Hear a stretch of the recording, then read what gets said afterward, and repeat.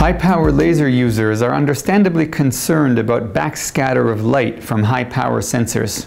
Ophir's 30 kW and 10 kW laser power sensors are designed to measure up to 30 kilowatts and 10 kilowatts respectively. They have high absorbance, about 96 or 97 percent, but 3 to 4 percent of the light is still backscattered. 3 to 4 percent does not sound like much, but 4 percent of 30 kilowatts is still 1200 watts. True, the backscattered power is very diffuse and so does not present any significant danger, but still it can heat surrounding surfaces of the sensor or nearby equipment. Ophir now offers scatter shields as accessories for these high-power laser sensors.